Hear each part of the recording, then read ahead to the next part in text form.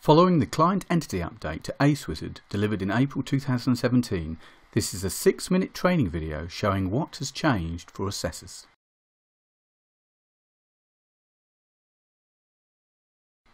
We're now logged in as a subcontractor assessor and you can see the user account we're logged in with. For the assessor, the new client entity will mostly affect how they add a new project.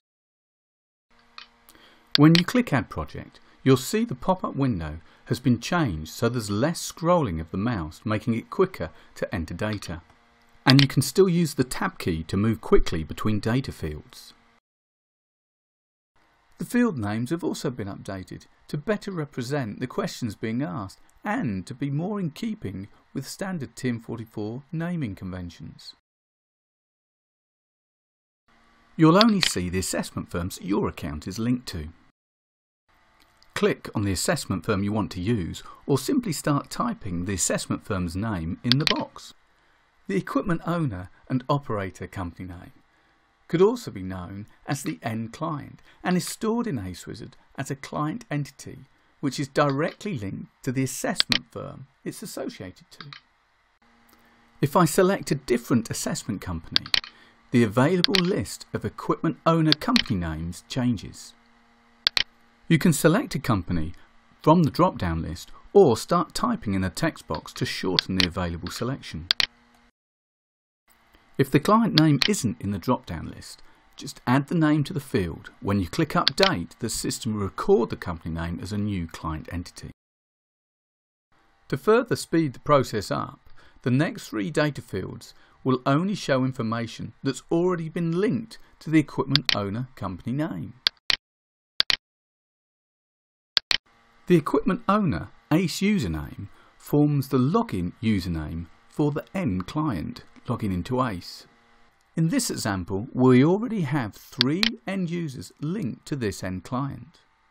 If more than one username exists, you can select any one for this project, as all users linked to the client name will be able to see the project when they log in.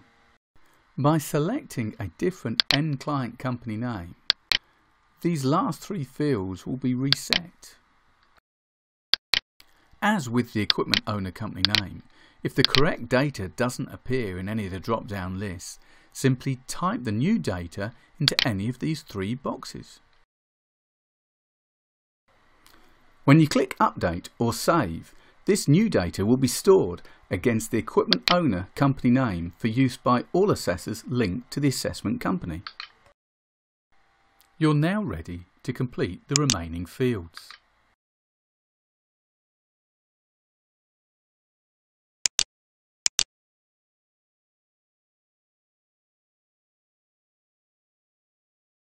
Remember, a project will be hidden from the client end user views unless the project status is changed from open to draft or closed. Finally, we've added one extra button to launch you direct into the project to start adding report data. When you arrive in the project from the Add Project page, you'll see some of those new details you've entered, such as the equipment owner Ace Wizard username, displaying in the top menu. Remember, a project with the status of open will not be seen by the end client. If you want the end client to also be able to see the Advanced Ace Wizard report, you must remember to link the PDF to the project. When you click Link PDF or upload the files, the document will be placed within the attachment folder for the client and also it will prompt you to change the status to either draft or closed. Like the Add Project page, the In Project Edit page has also been updated. You'll notice that any of the new data we added when we created this project are now selectable in any of the drop-down boxes which relate directly to the equipment owner company name.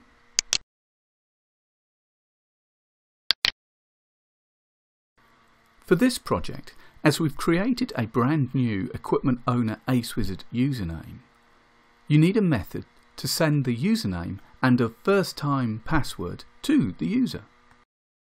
This is done from within the project by clicking the Send Email button.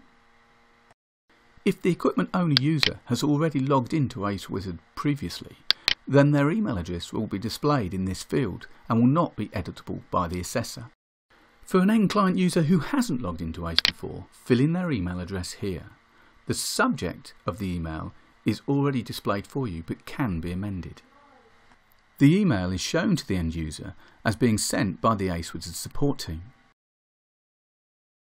The email will also contain information specific to the assessment firm that's carried out the inspection, including the name and any unique URL to log into the system.